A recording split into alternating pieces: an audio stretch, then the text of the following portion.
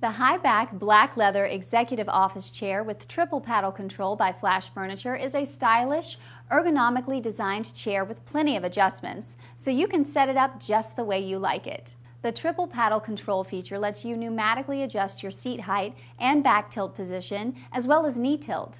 There's also a lumbar control knob that allows you to increase and decrease the support pressure provided to your back. And the padded nylon arms can be raised or lowered to suit your preference. This chair is upholstered in soft, durable black leather upholstery and padded with high-density fire-retardant foam. The base is made from heavy-duty nylon and fitted with padded nylon end caps and dual-wheel carpet casters for easy rolling in any direction. The headrest on this chair can also be embroidered with any text, logo, or both.